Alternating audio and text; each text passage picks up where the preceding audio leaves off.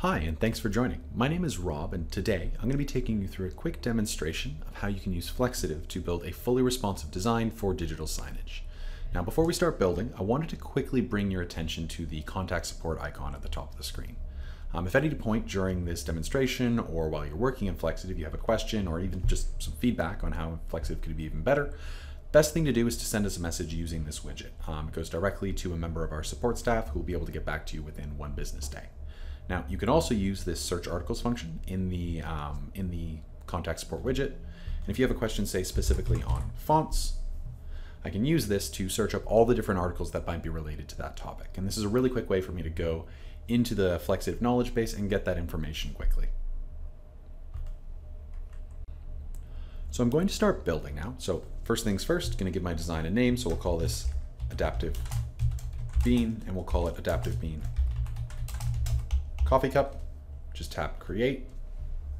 And from here, I'm going to be brought into the template selection screen in Flexitive. Um, so in this screen, I can choose from any of the preset templates in Flexitive, or I can jump into a blank canvas.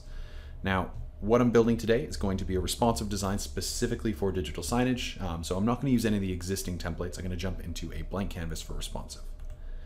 And the first difference that you're going to see with a responsive design, you might be used to working in uh, specific resolutions, but with a responsive design, we're instead going to be working with aspect ratios. So these are very similar. Uh, the build process is very similar to anything you would do with a fixed size resolution. All I'm going to do is jump over to these full screen sizes, and you'll see that there are a bunch of different aspect ratios that would pertain to different screen sizes. So obviously the most common being 16 by 9, so that's where we're going to start. So I'll just click on that size to enter into it.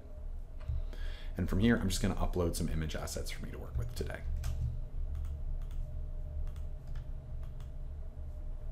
Missed one, just going to grab that quickly.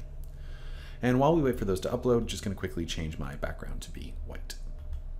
Perfect. So from here, all I have to do to add an image to the canvas is drag and drop it. And then from there, I can reposition or resize it however I'd like. Now, I want to bring special attention to the way that the image is actually interacting with the bounding box as I resize it. You'll notice that no matter what I do, the image is always set to be contained within the bounding box and maintaining its aspect ratio. Now, this is the default setting in Flexitive, but I can change this if I'd like. I'm going to go into this customize panel here. You'll see there's fit, and then there's fill and crop. I'm going to click on fill and crop quickly, and that'll expand it out to completely fill the bounding box. And then I can use this little uh, green circle icon that you can see here to control what part of the image I'm looking at. So this will let me crop my image based on uh, how I want this to be displayed. Now, just quickly set my focus to the top left, and then this is going to be the background image for my canvas. So I'm going to jump into my background and layers panel, and then simply drag and drop this onto the background image. And that'll expand it out to completely fill the canvas automatically for me. From here, adding the rest of the images exactly the same as before, so just drag and drop. And I'll just quickly add the rest of my images to the canvas and resize them.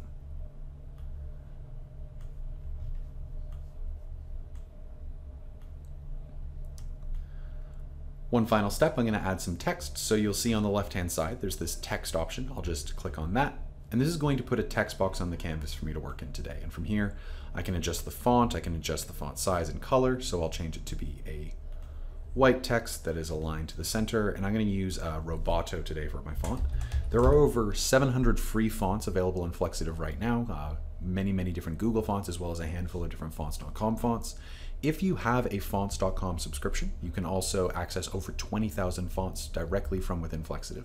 You can even upload your own font if the font that you need isn't available by default. So I'm just going to select Roboto.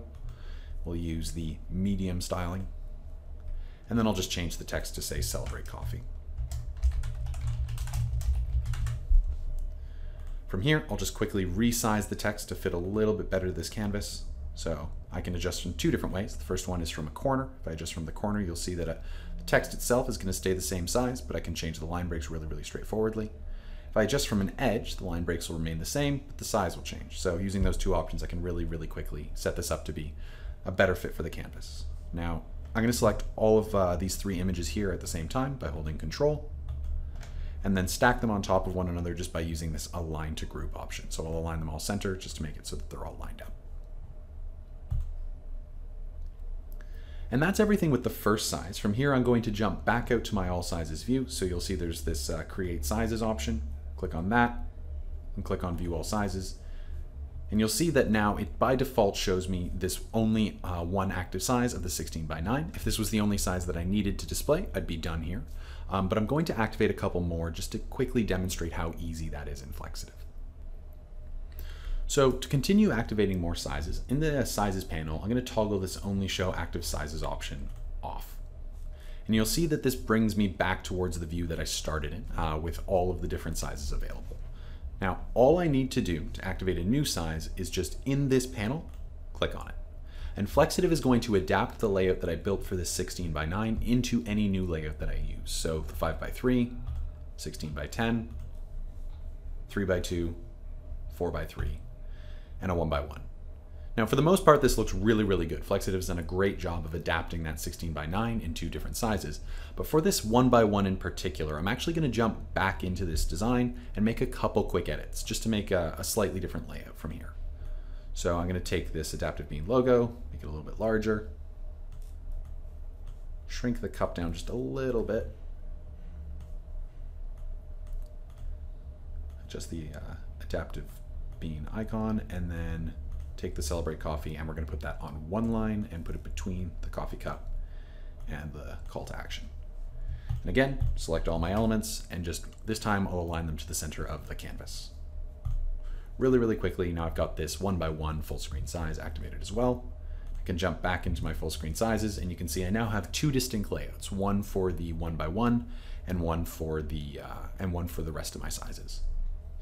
From here, I'm also going to activate some portrait sizes. You might have uh, portrait designs built as well. So I'm going to jump into portrait. And then again, it's as simple as clicking. Now, you'll notice that this is actually using the one by one layout rather than that 16 by 9 layout.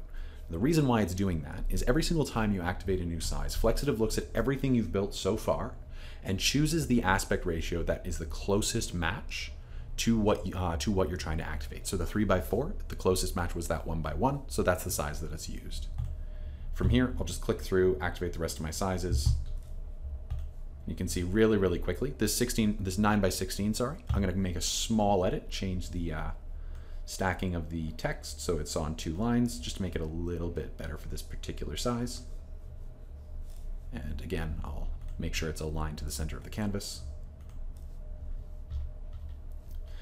And now I have these three distinct layouts: the uh, 16 by uh, the 16 by 9 layout that I built, the 1 by 1 layout, and the 9 by 16, and then all of the different sizes in between.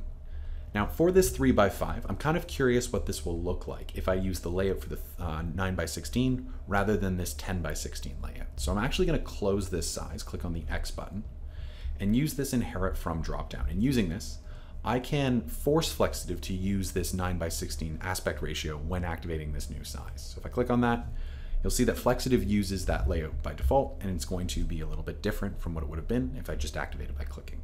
And the reason we've included this is Flexitive is going to be really, really good at choosing the right aspect ratio for you, but it's not always going to be perfect. So um, there are going to be times when you're going to want to override it um, and just choose a slightly different layout. From here, I'm actually going to jump back over to my landscape sizes, jump into my 16 by 9, and start talking about how I can add some very, very basic animations to this design. So to start adding animations to your design, all you need to do, go into the animation panel and click on Start Animating. Now, in Flexitive, we've built animations to be very, very easy and quick to add, as well as to scale well across all of your sizes. To do that, we've used animation frames. Now, animation frames kind of uh, each represent a stage of your animation sequence. Now, by default, you're going to be given one frame to work with, and everything's going to be hidden. And of course, you can change that, add more frames, add animations. Um, and we're going to start by animating in the background. So select that, and then on the left-hand side, you'll see there's hide, there's show. I'm going to click on show, and then I can just quickly set this to fade in. From there, I can do this with as many different elements as I'd like, so I'll select Adaptive Bean Coffee Co., have it fade in from above.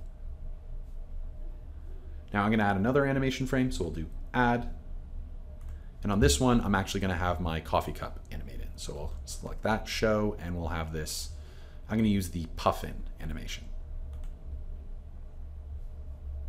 And then on a third frame, I'm going to select both my Celebrate Coffee and my Adaptive Bean call to action, set them both to show with a simple fade in animation. Now if I want to preview this, I just have to select the first frame, click play, and I'll be able to see the animation sequence. So that looks pretty good. Um, I'm gonna make this a little, I'm gonna take this another step further, and I'm actually going to do two things. First thing is I'm gonna add an emphasis animation to the design. And then from there, I'm going to change the speed and pacing of the animation sequence. So after this third frame, we'll start with the emphasis animation. I'm gonna click add to add a fourth frame. And then I'm gonna select my call to action and scroll down to the very bottom of the animation panel where you can see there's this pulse animation. And I'm just gonna select that and apply it. And you'll get a quick preview of what that looks like. And then from here, I'm gonna change the speed and pacing. So in the first frame, this is where my background's fading in and my adaptive bean uh, logo is uh, fading in from above. I'm gonna make this a little bit slower, just make the duration two seconds. Then on the second frame, this is where my coffee cup is entering the canvas. So I'm just gonna make this quick. I'm gonna make this 0.5 seconds. One final change between the third frame and the fourth frame. There's, I want there to be a little bit of a delay, so I'll set this to be three seconds. And again, I can preview these changes just by clicking back to the first frame, tapping play.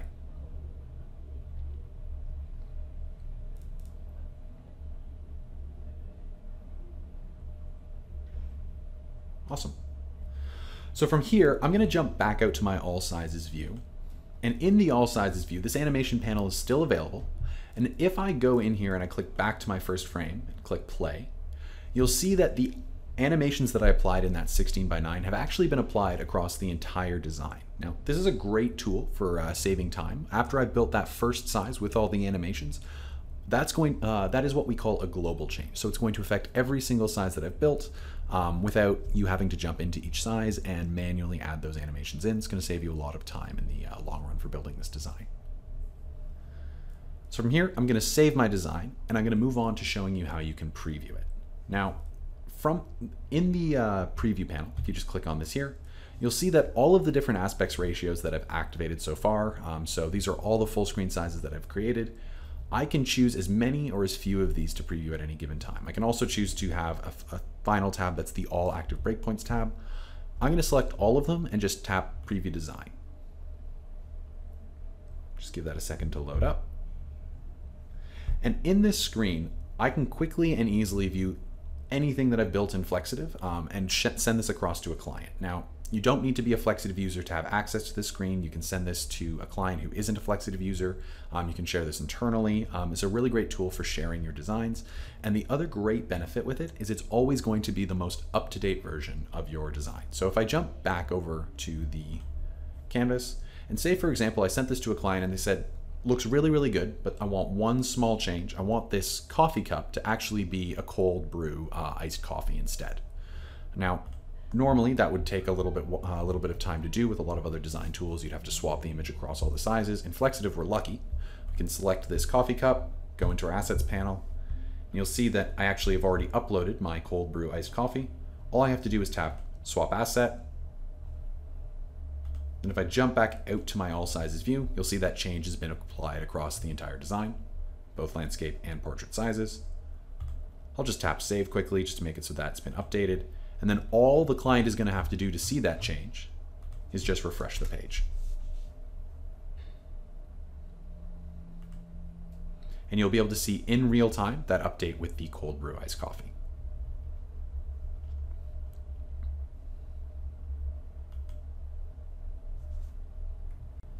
So the final step in building this design is taking it and exporting it um, for your digital signage platform. Now, I'm going to be using Signagelive today. Um, so first step is just open up the export panel and then jump over for digital signage over to the CMS pa uh, panel. Now from here, I can choose, again, as many or as few sizes to export as I'd like, but there are two different ways I can export. The first is an iframe embed. This would go into, say, um, this would be something that you could host on your internal website, um, or I can use export design zip. Now for uh, Signagelive, I'm going to deselect everything. And the only thing I'm going to need to actually export is this all active breakpoints option. If I select that, this is going to uh, export a version of the design where every single aspect ratio that I've built has been combined into a single creative. And each aspect ratio is kind of a touch point for, uh, for the design to um, choose what it should be displaying. So as I flick through the different sizes, it's going to actually show those different uh, layouts.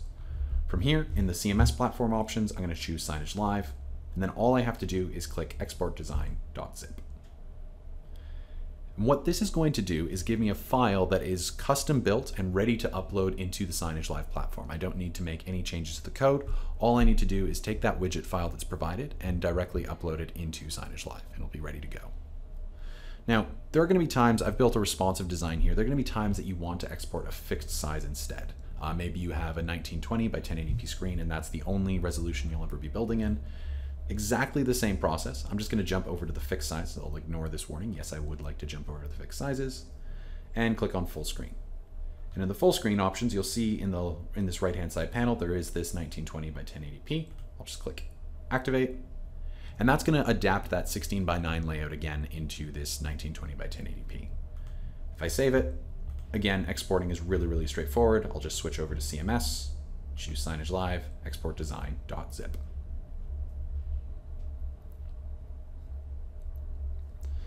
And that's all there is to building a uh, design to be served through uh, Signagelive or any other digital signage platform. Um, if you have any other questions, please don't hesitate to reach out. Again, this contact support widget is the best way to get in touch with us. Happy to uh, answer any questions that you have. And uh, otherwise, thank you so much for joining and uh, have a great day.